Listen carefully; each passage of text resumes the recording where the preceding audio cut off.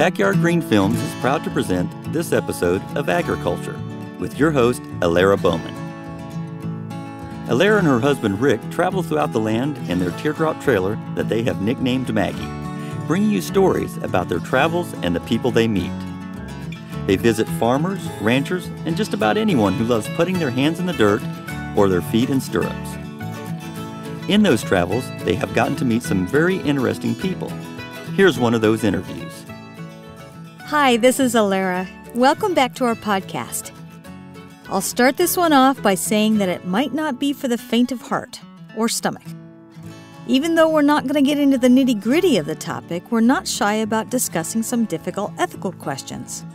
And since meat is a part of our food supply, the animal's life and death and use is a topic worth asking about. Even if you're okay with the idea of eating meat, there are all kinds of questions that pop up. Why do we eat some animals and not others? Why do our choices seem to be completely lacking in a uniform methodology as to what's okay and what's not? In the US, why do we eat cows but not horses or dogs? We eat pigs and goats and squid and octopus, which are supposed to be pretty smart, so that criteria doesn't track either. Even in the animals we do eat, there are parts that most of us turn away from when the rubber hits the road, unless they're regional specialties. We eat the muscles all the time, but not the brains or the guts. During the Great War, we turned up our noses at organ meat for the most part, even though there was rationing here like mad. All of this seems to be changing a bit here as we adapt to the new cultures that bring new foods and delicious preparations to our shores, and international cooking videos from across the world that are now immediately available anywhere, of course. Still, you have to ask yourself what is it that causes us to shy away from discussions about our meat? Now, I'm going to use a word that can have some horrible connotations attached to it butcher. That word has been used throughout history to describe many less than pleasant processes and a few less than pleasant people. But the traditional version of a butcher is not always the thing you might immediately assume. A butcher can be the one that actually takes the animal's life, whether it be on a high production line in a facility or in a small farm backyard. It can be the one that reduces it to smaller usable parts, either at the slaughterhouse or somewhere down the line. It can be the person who takes the side of beef or ham off a truck and starts creating steaks or hamburgers for the customer at the meat counter. It can be the one that preserves the meat through smoking or curing. And it can be all of those things on a big scale or a small one. But the thing they all have in common is that they're part of a long practiced profession, and they ply their trade all over the world. There are many forms and specialties, in addition to the one that we mentioned, and the next time you enjoy sausage gravy, smoked bacon, or a salami plate, you can thank a butcher. I'm not a Portlandia watcher, but I have seen the first episode. It's the one where the couple sits down in a restaurant and starts with a simple question about the chicken on the menu. And the conversation ends up with a life history of poultry in Portland and a visit to a farm. And no, I don't know when you've gone too far down that particular road, but I think I may have traveled it a ways from time to time. Now that we've brought up Portland, Oregon, I have to talk about the food. I don't know if you've ever been to that wonderful city, but it's pretty much one of the farm to table food meccas of the known universe. We've been there many times now, and pretty much half the trip is planned around the new food spots we're going to try. Grain and Gristle was the new restaurant we tried on the last trip, and we went back the next day just to make sure it was as good the second time. Absolutely to die for. The nice thing about Portland is that they don't look at you like you're nuts when you ask about the source of food. In most cases, they print the name of the source farm on the menu item so you can look it up for yourself if you want, or ask the waitstaff, who almost always know the answer to that question without having to ask the chef. So, Portland is a great place to have our next podcast conversation because it's the home base of Camas Davis, founder of the Portland Meat Collective and the Good Meat Project. Their organizational goal is to change the way people think about their food and their community, and to bring farmers, chefs, butchers, and consumers together to bring about responsible and sustainable meat choices. Camas and her peeps have been at this for over a decade, and they brought foodies across the country into a new way of thinking about the animals we use and how we use them. They've come up with new ways to prepare parts we didn't think about using, and they do it in a delicious, hands on fashion, as all of those who have sat at a table for one of the amazing experiential learning classes can tell you. And they do it using animals from local farms in a responsible way, start to finish. And as a girl who really enjoys a delicious, guilt free steak, thank you, Grainy Gristle. I can appreciate that. We hope you enjoy a candid, but not too detailed, conversation with the amazing and accomplished Camas Davis.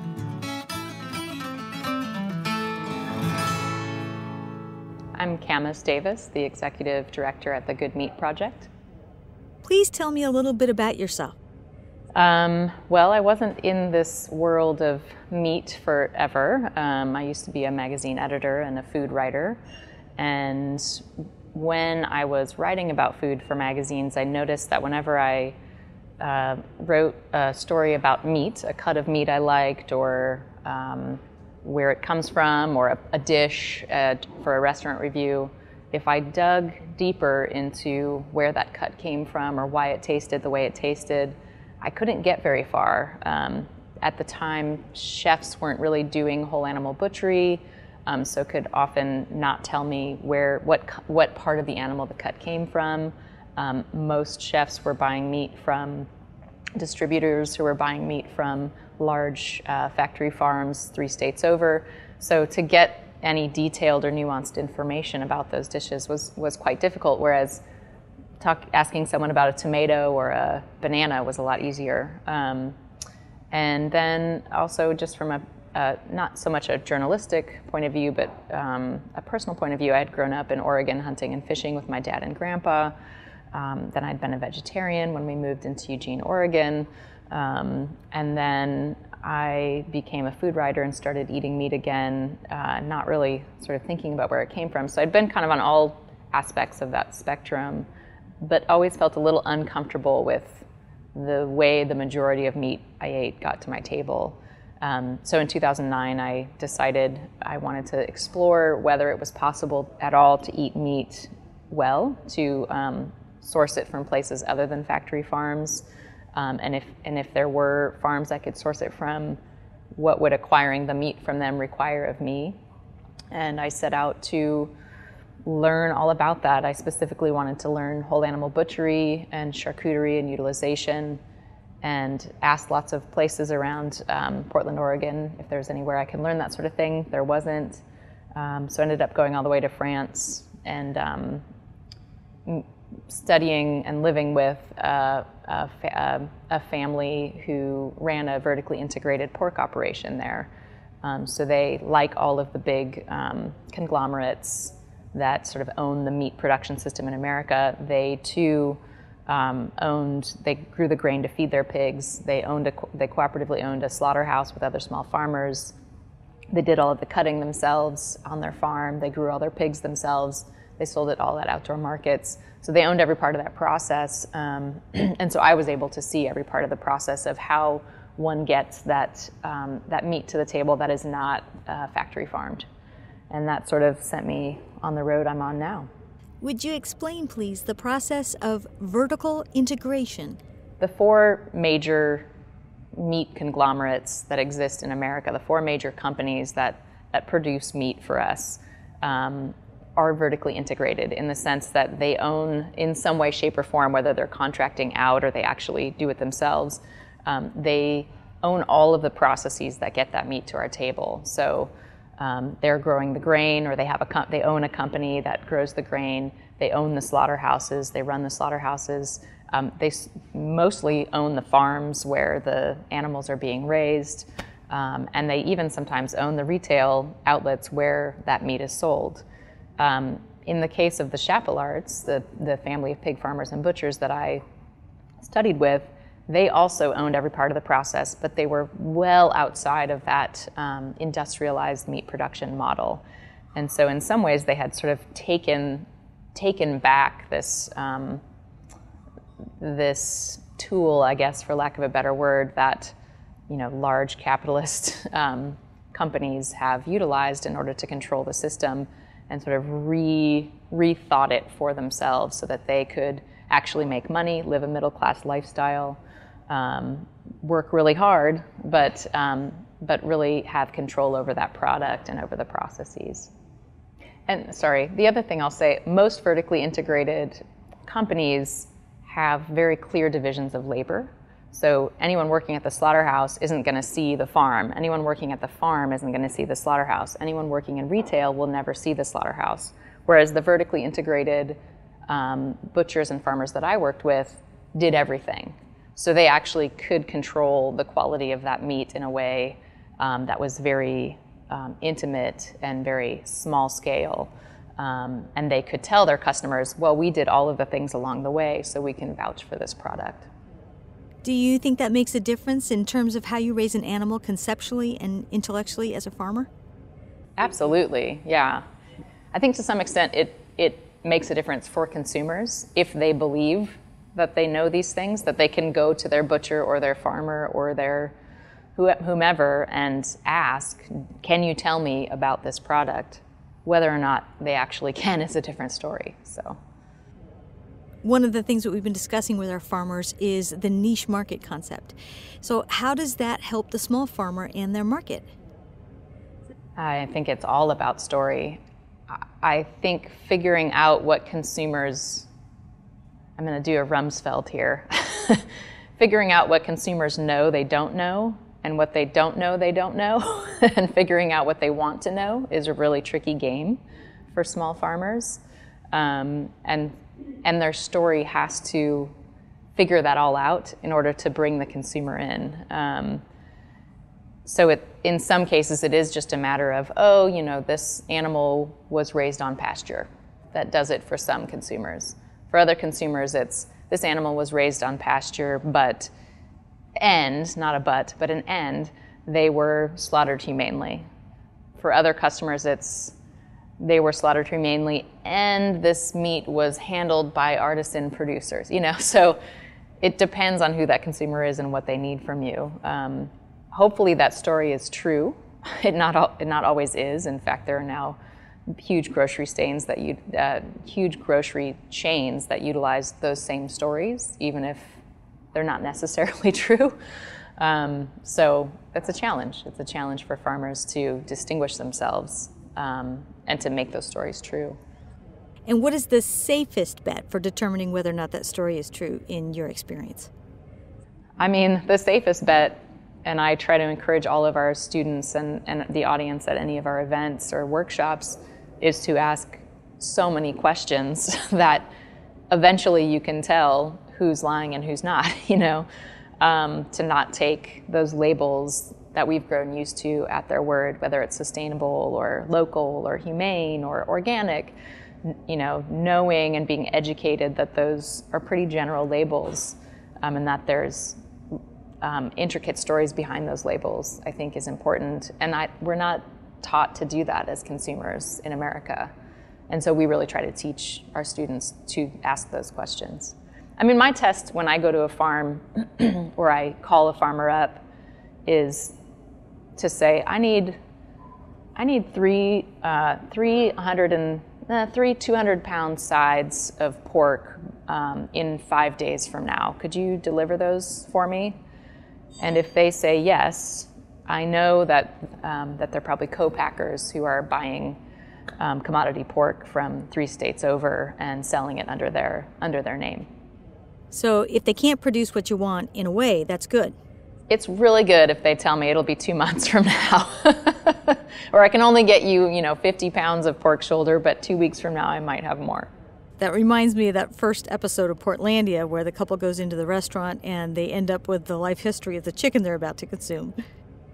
Uh, but it, I mean, that's really interesting. That, that episode is so interesting to me too because it brings to light this assumption that we all make, which is that if a chicken is raised on pasture and I know its name, it will taste good and be raised well. And that's not necessarily true, actually. Um, there's a lot more that goes into making that bird taste good and making us feel good about that bird and making that bird's life good as well. Um, and it's not, it's not really that simple, unfortunately. I think that the average consumer has sort of a label fatigue in many ways The assumption is that organic might be fine, but it doesn't have the rest of the things that you might need. But then there's humane standards and there's breed standards, and do all of these things make a difference? So, do you find that all of these things do make a difference, or what makes the biggest difference to you? I think that all of those labels, in their most quintessential, true, real form, do make a difference. But that it's difficult in today's agricultural landscape for farmers to truly achieve those labels as they are meant to be.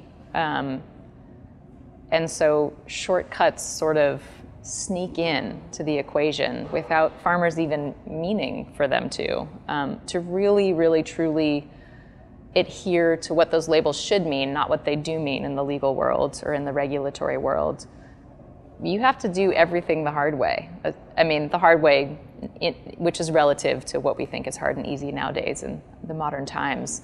Um, I mean, I think unfortunately the best way to determine the quality, the, the good or bad quality of an animal is is complicated. that there's no that it's not just breed, it's not just pasturing, it's not just humane um, rearing or slaughter. It's all of those things at once. That there's this very complex weaving together of all of these processes um, that makes what we like to think of as good meat, um, and good meat being not just it tastes good, but uh, you know, it was raised right, it was raised well, it was raised with the health of the planet and our bodies and the animals' bodies in mind.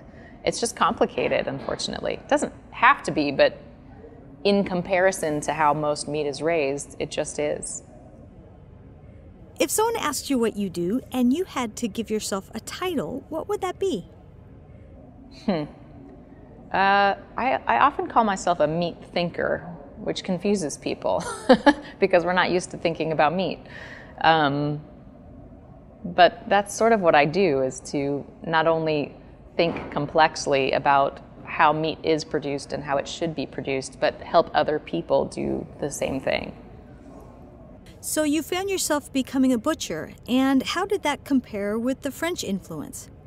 Um, well, with the French, just a note on that. I, with the French, I I did see a very specific style of butchery. They had a consumer base who would buy every part of the animal and did not balk at pig brains or pig ears or blood sausage or heart or liver, any of that stuff, any of what comprises that fifth quarter of the animal that we never like to think about here in America. And so I came back to America thinking, oh, you know, I'll just spread spread the gospel of this whole animal butchery style that that they did over in France and ended up working at a butcher shop, convincing them that they should do whole animal butchery and source from local farms, and became very clear that there wasn't a consumer base to support that kind of model. Um, and granted, I and the other people I worked with weren't creative enough to figure that out at the time. There weren't a lot of examples to go by, whereas now there are. Um, but at that point, I realized all the things I want to see happen in the meat production world and in the meat consumption, in the, in the realm of meat consumption, can't happen unless there's a consumer base to support that. And that consumer base needs to be more open minded. Um, they need to think more complexly about where meat comes from. They need to confront all of the scary stuff that we don't, never want to talk about that gets meat to our tables and realize some of it is scary and some of it isn't. Um, and they need to sort of completely revalue how they think about meat um, and, and how they think about that steak on their table. They need to change how they eat it, how much they eat. It's just a, it's a wholesale rethinking. One of my favorite books is Mary Roach's Gulp, where she talks about the alimentary canal, and one of the chapters is on offal or offal. I don't know what you call it. I say offal, you say awful. but Mary talks in a humorous commentary. She's talking on uh, some of the, the animal parts that we as Americans will not eat. We find them horrifying. And so we're shipping them off, especially in times like the war. We're living on rationing, and Americans will not eat these foods. We have to ship them overseas. Can you explain the differences between here and there and some of our food habits?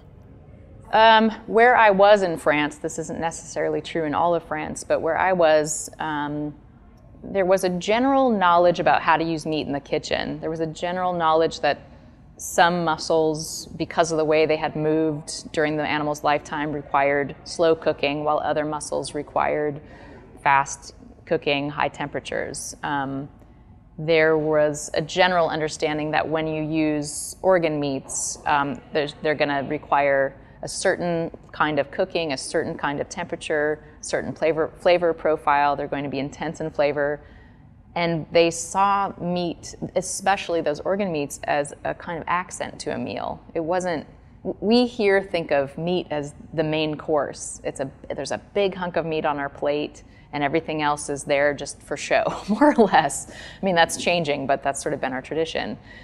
Um, in addition, over time, we've because our knowledge of cooking and using meat in the kitchen has decreased, we've grown fond of only those things that are easy and fast to cook. And so that really is maybe a quarter of the animal. Um, the rest of the animal, be it muscle cuts or organ meats, take slower temperatures, longer amounts of time. You maybe need to salt it ahead of time. Um, and that just hasn't been incorporated into our mindset about food in this country, um, and especially with organs. And then in addition, we have this story that we've told ourselves for a long time that those those organs, those off bits, the, the, the head especially, um, have come to represent the fact that this was a living being that we had to kill for food. And they are terrible reminders of that, and we don't want to grapple with it. And vegetarianism and veganism exist so that we don't have to grapple with it. And somehow in France and most every other country I've been to, that grappling has occurred. It's always occurring. There's this kind of comfort with the fact that this was a live animal, now we're eating it for food, that we just don't have here. And I think that those offcuts, although the industrial model figures out how to put them into something, um, really remind us of those uncomfortabilities. Talk about the value of life, of food life, if you would. It's a hard concept for us. I think it's a hard one for us because you, I mean, if we ate meat and we were also willing to either be a part of those processes that we're so uncomfortable with, or we were even willing to witness them, or we were even willing to just every once in a while remind ourselves out loud or in our head an animal had to be killed for this. I just think we would have such a different production of, or a different system of meat production and consumption. We would just be such different eaters.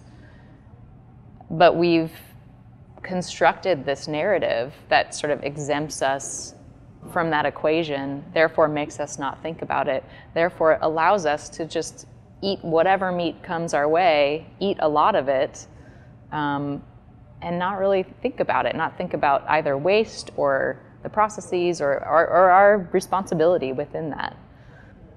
Do you think it's necessary for people to go through the process of a slaughter at least once to realize that? I don't think that it's necessary for everyone to witness or slaughter themselves, um, to, to, witness the slaughter or slaughter an animal themselves to realize that. I think there are much easier and uh, less intense ways to realize that. Um, but my experience has been that when people come to our classes and our workshops and they do take part in those processes, something shifts. They become a very different kind of consumer, a very different kind of thinker, and it's a slow process. It's not like immediately everyone becomes a vegan or even ever becomes a vegan, but they start to shift their thinking and their responsibility, and they are a part of the system. And maybe I don't want to buy meat from this source. Maybe I want to buy it from this other source. Maybe I don't want to eat that much of it. Maybe I want to eat it once a month instead of once a day. Um, and I think that that sort of nuanced way of of thinking about meat production and consumption doesn't fit into our sort of black and white puritanical way of thinking about meat eating. And um, it's just, again, it's a harder way to think about things. It's, it, it requires more of our brain, which our, our brains are big because we eat that meat. So it's very complicated. You know? And again, it would have a benefit to us health wise if we ate less meat Well, and not just if we ate less meat, but if we ate a different kind of meat altogether. I mean, we have all of these studies coming out saying all red meat is bad, all cured meat is bad. It's and the kinds of meat that we eat, yes, but there's such a difference between, um, you know, a pasture-raised uh, American guinea hog, fed, you know, organic grain grown in the same fields that that uh, pig grew on, than a factory farmed pig being fed the same grain uh, living the same amount of time every, you know, for or living, you know, six months instead of 12 months. I mean, there's, there's such a difference in nutrition and in quality and flavor and texture and all of that stuff. Now, commercial meat and heritage breed meat or foods don't have to be mutually exclusive, but one of the things that our heritage breed farmers have said is that the meats in heritage breed animals are vibrant and they're much more flavorful than maybe other different breeds. Do you agree with that? I do find it the case that heritage breeds tend to have um, more interesting and complex flavors than uh, commercial breeds. But it also depends on what. I mean, you could feed the commercial breed and the heritage breed the same feed and allow them to live for the same amount of time, and that difference would lessen. So, it really, for me, is always about the breed, the relationship between breed, feed, and then the, the movement that the the movement of the animal, um, whether it's pastured or not, how much it moves during its lifetime. That equation is what makes the big difference to me. When I spoke to you on the phone, we talked about Bob Kennard and Much Ado About Mutton, his great book. And one of the concepts that was raised in that book was the uptake of nutrients and longevity in an animal. And it takes a long period of time for an animal to uptake nutrients. So, for a three year old animal, that's a long time for it to be running around eating and uptaking of nutrients and depositing them in its body. And that it will lead to a complexity of flavor. Yeah. I guess the, the fourth part of that equation of breed, feed, and movement is age. Um, and that when you're working with a heritage breed, you're allowing, depending on if it's a ruminant or not an omnivore, but when you're working with a heritage breed, um, you're working with a certain level of feed, a certain amount of movement, growing it out older is necessary. It just it's not gonna it's not gonna work. It's not gonna taste as good. It's not gonna fully develop its ratio of fat to meat until it grows much older. Um, and that's something that's just sort of completely lost on on us here in America, I think. And the fact, you know, we we slaughter all of our animals at a very young age. It's not just lamb. Um, and in fact, lamb is slaughtered at a much older age than people think it is. So, and the reason that we slaughter animals at a young age is that we have a consumer base that over time has wanted mild tasting meat that um, is somewhat moist, easy to cook, fast to cook. Um, we focused on the muscles instead of anything else. We're afraid of fat, which is where all the flavor comes from.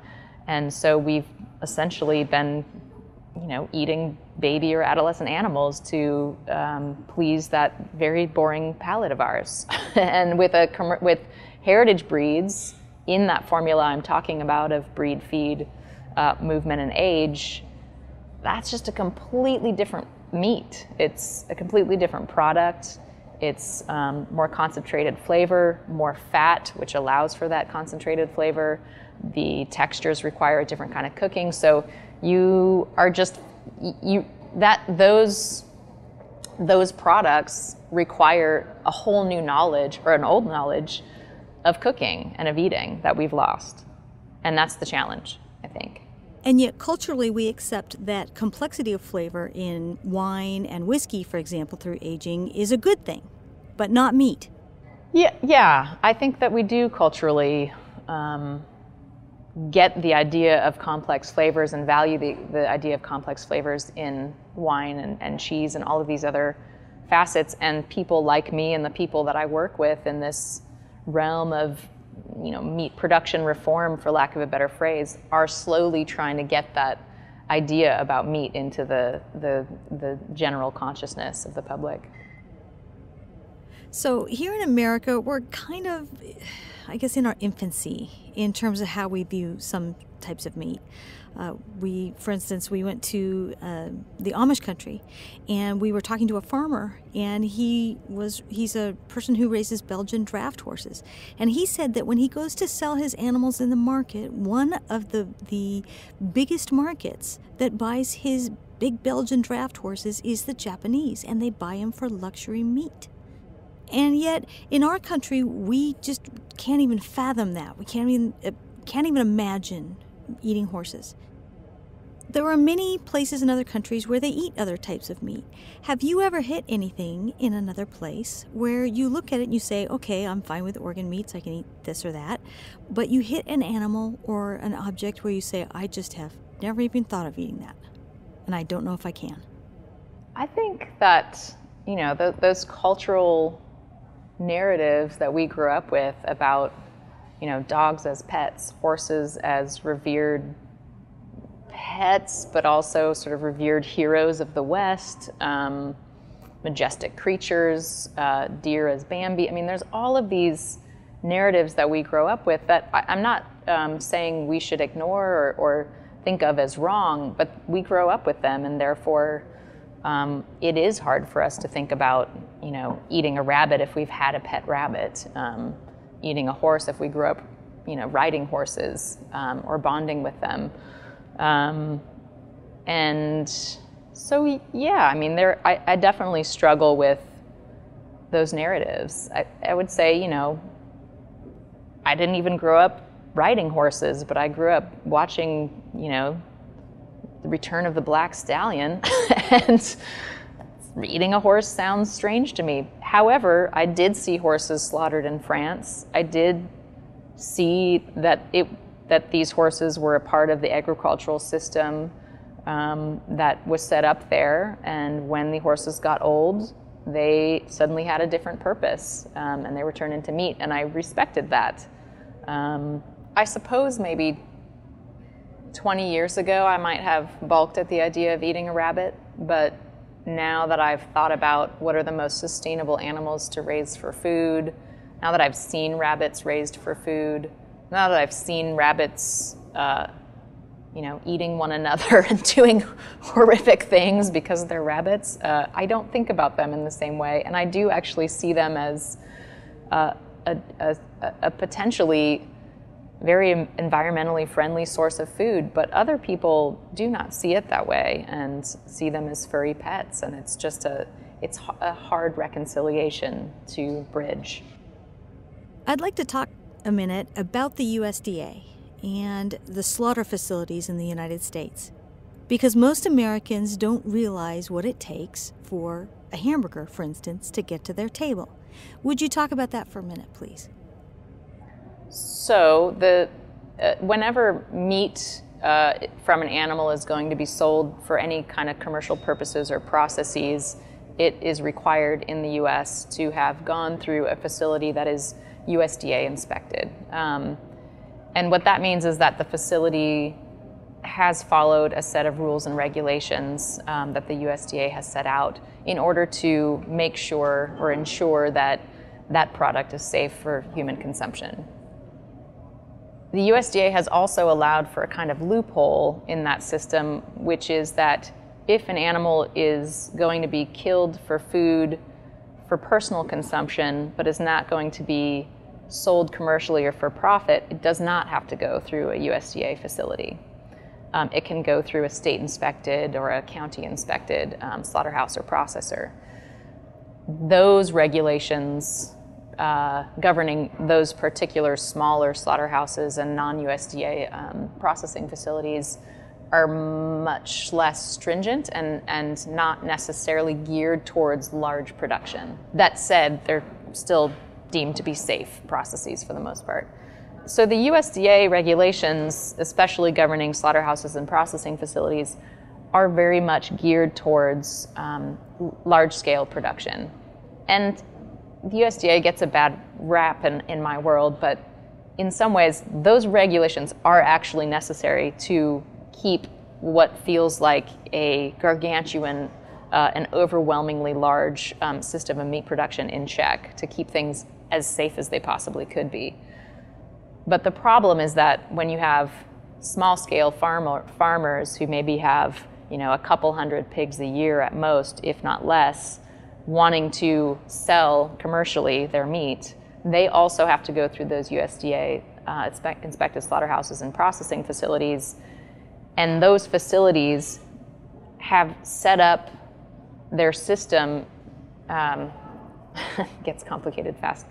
They, they've set up their system to adhere to these regulations, and it's expensive to do so. So they need to make a certain amount of money back. So they're always going to favor large scale operations. Farmers who can bring in, you know, 500, 1,000, you know, pigs a week. Not a farmer who has one pig a week and sometimes the pig is 400 pounds and sometimes it's 150. They want, you know, a very predictable amount. They want a very predictable size.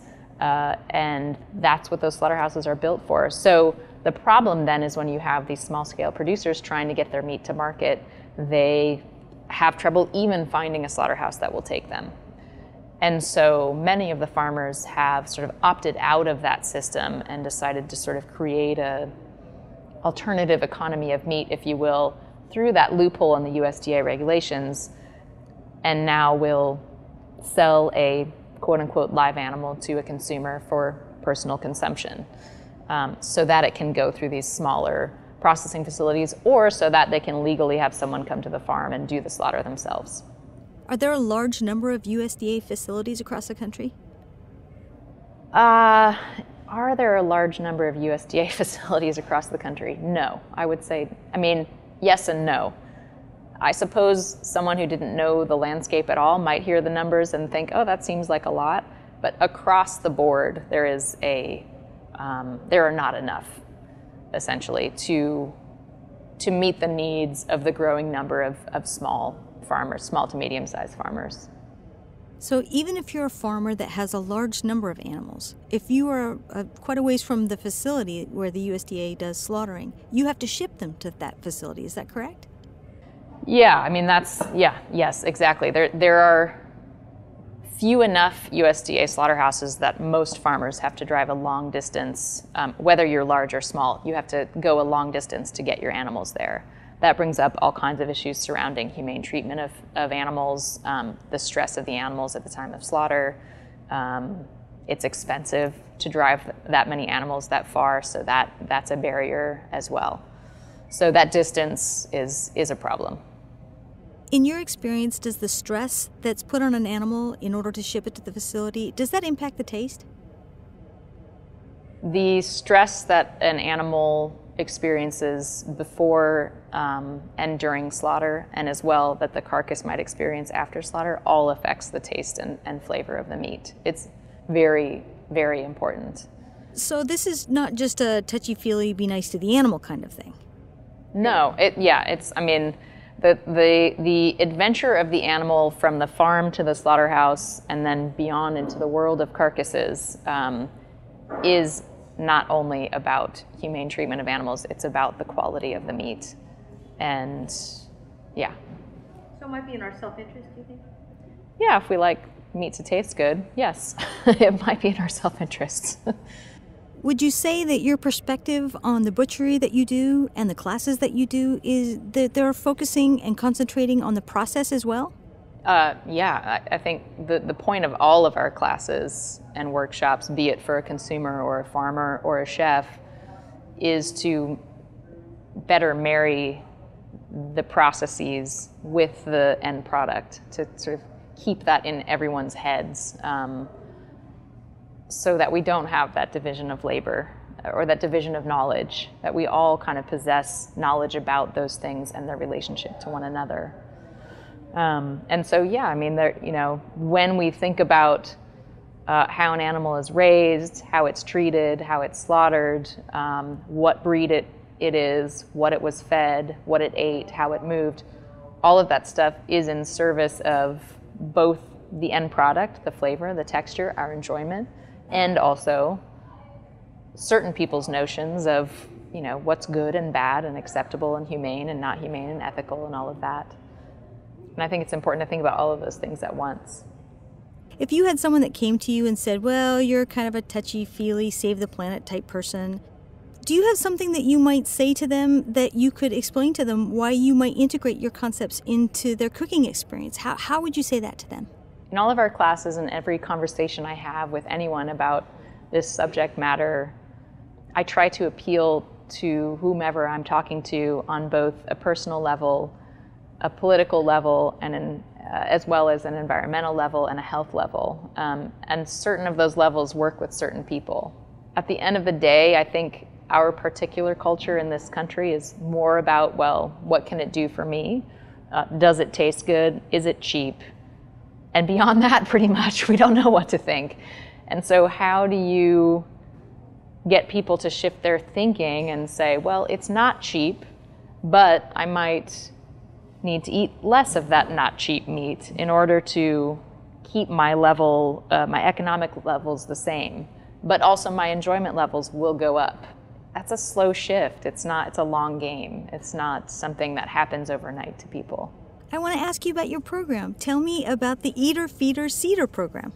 So, we uh, originally mostly worked towards educating consumers on the basic processes that get meat to the table, um, on what the difference is between a Cornish cross hen and a red ranger, ranger chicken in terms of flavor, but also in terms of texture how to use the whole animal, all of that sort of thing. We quickly started realizing that in addition to consumers coming to, to classes, farmers, be they new idealistic farmers or old cynical farmers, um, were coming to our classes wanting to learn those basic processes because they didn't have access, they didn't do any of those processes, but also wanting to start thinking about how do I do what I'm doing and market it to the people who are going to pay for the product I'm raising and we were getting chefs coming to our classes, be they old cynical chefs or new young ideal, idealistic chefs, who were starting to think about how can I source better meat for my menus? How do I use every part? How do I appeal to that consumer base? How do I disguise the heart in a pate or how do I highlight the heart in the pate? So we knew that the kind of transparent hands-on education that we do, which is teaching slaughter, teaching whole animal butchery, teaching whole animal utilization, shifts the way people think, at least consumer-wise. We figured it would work the same for farmers and chefs, but we knew that farmers and chefs had a very different need. Um, they not only needed to know, you know, how do you butcher a whole animal? How do you use every part? How do you tell your consumers, oh, this is what you do with all that fat and pig skin? But uh, you know, how do you make money doing it? What do you, what challenges do you face in terms of USDA navigating USDA slaughterhouses, in terms of navigating various regulations surrounding labeling? So we're really trying now to inspire both more responsible meat production and consumption through this kind of education, but customizing that education for each of the audiences. And one of the things you talk about on your website is using things like tongues, tails, heads, and organs. Do you use all the parts? I do. I use all the parts. Um, we do try to encourage chefs to A, um, purchase whole animals directly from local, small to medium sized, regenerative, sustainable, humane farms, all of those labels, and to then figure out how do I use every part and make money doing so. And in order to do that, you have to be very creative, at least in America about how you do that. I mean, I've I have a story I always tell about a chef, a local chef here in Portland, who on his menu would always have something called pulled pork, but in quotation marks. and one day, uh, and one day, I asked him. I was a restaurant reviewer at the time. What is this quote unquote pulled pork? And he said, it's head cheese. But if I called it pâté de tête or fromage de tête or head cheese, no one would buy it. So I call it pulled pork because in the end, the cheeks and the jowl and all the meat on the head is sort of the same as the shoulder in that it needs to be slow cooked. Once you do that, it shreds like pulled pork. So what's the difference really? so, you know, that's how chefs have to be creative here, unfortunately.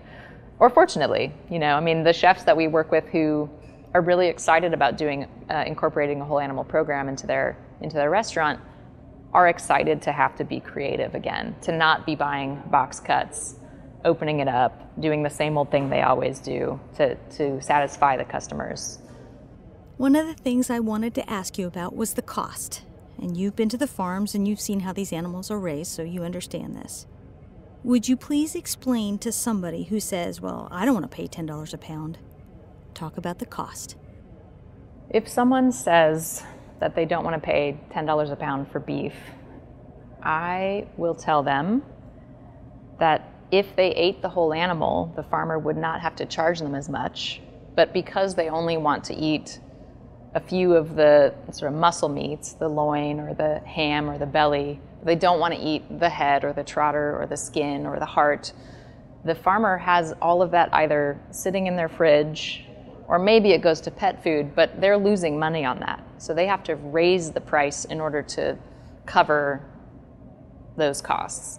In addition, I'll say to them, this farmer is using this kind of breed, has this feed program, and therefore has to grow out this animal longer than an industrial uh, breed, which is bred to grow quickly.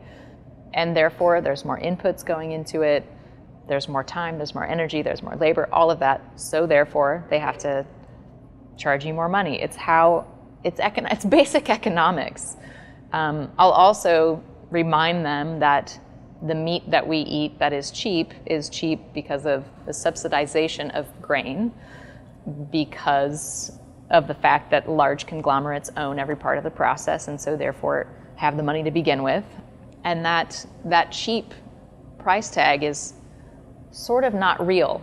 It's, it doesn't really reflect the true cost of meat. It also doesn't reflect the the true cost that we'll face in the future, which is how does that meat production system affect our health, um, the health of the planet? Um, what, how will we have to pay for it later? That's invisible to us as well.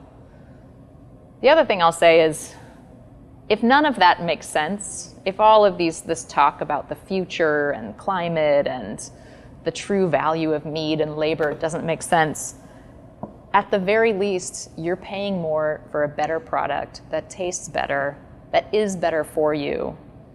And lucky enough, you don't really have to eat much of it to feel sated because it has stronger flavor, better, more complicated flavors more interesting textures, lends itself to charcuterie preparations, with, which also concentrates the flavor of the meat. So it ends up kind of balancing out in the end if you're willing to change how you cook meat and how you see meat as a part of your diet. That may feel like a big investment for a lot of people. You know, oh, am I going to have to make my own ham now? Am I like how I don't know how to slow roast a you know, brisket. What does that mean? I don't have a smoker. I mean, there's all kinds of things that that might require of people. So it, in some ways, does require a wholesale shift and a cultural shift. Um, but in my experience, the people who take our classes and learn these things and start to revalue all of this end up sort of indulging in those things and, and sort of incorporating those changes into their lives in a way that's satisfying and that they can, and it turns into something they can be passionate about. It turns into a lifestyle that they want to live. So, if you had an, either an animal or a breed or a taste or a meal that you said, this is just absolutely fantastic, absolutely your favorite, could you just list one or two of your favorites, please? I, I think generally when I take part in the processes that gets meat to my table, be it helping raise the animal, helping to slaughter it, butchering it myself, salting the ham, hanging the ham myself in, in my garage, it just tastes better. Um, and there are too many examples of that to name just one. Um, I have had some particularly enlightening meals made out of uh, heritage breeds. I mean, animals that were pastured, um, animals that sort of lived their normal animal lives and weren't um, factory farmed in any way. Tasting those animals has been a revelation. It's just a completely different meat. It, it looks different, it tastes different, it cooks different. If you liked our podcast, please subscribe. This is how we keep going. And please tell your friends to join us please feel free to post any questions or comments that you might have to our social media sites. Our Twitter feed is at Backyard Green Films, spelled B K Y R D G R E E N F I L M S. Our Instagram is at Backyard Green Films, B A C K Y A R D G R E E N F I L M S.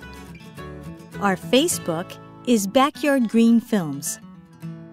Our YouTube URL is youtube.com Backyard Green Films.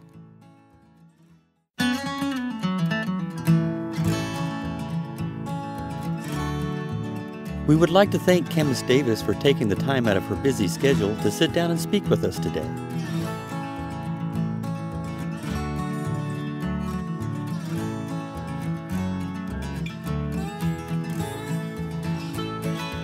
You have been listening to Agriculture with your host, Alara Bowman. Please tune in for more upcoming episodes from our travels. I'm Rick Bowman, your behind the scenes editor. Until next time. If you'd like more information about the organizations that we spoke about today, please visit the Portland Meat Collective at pdxmeat.com and the Good Meat Project at goodmeatproject.org.